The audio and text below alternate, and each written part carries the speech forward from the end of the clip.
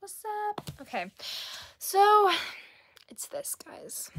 I accidentally let paint dry, which is super sad because it's a waste of paint.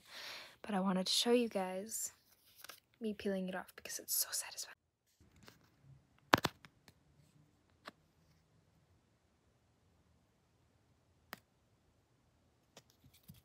The camera work is a bit crappy, but uh, at least to me, is satisfying. So